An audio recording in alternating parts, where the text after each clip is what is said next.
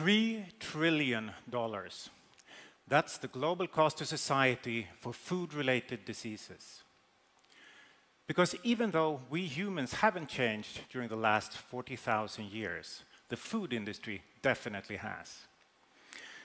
And this is becoming one of the biggest problems to our health. To see the evidence, you just need to look around. Food-related diseases are becoming silent pandemics, causing unnecessary suffering and early death. But the good news is that it's preventable and reversible. I've dedicated my career to fight this. I was so frustrated with the food industry, I started Paradiset, Scandinavia's largest natural and organic grocery chain. But I was thinking too small. We needed to radically increase reach to maximize our impact. And this is what Paradiset is doing now. We put the power of health back into the hands of the people. We help our members make healthy food choices while navigating the jungle of groceries.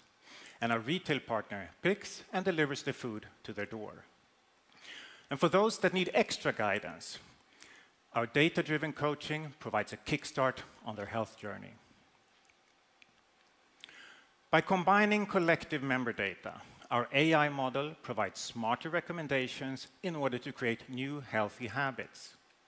It's a virtuous cycle where our members get better and faster results at an affordable price.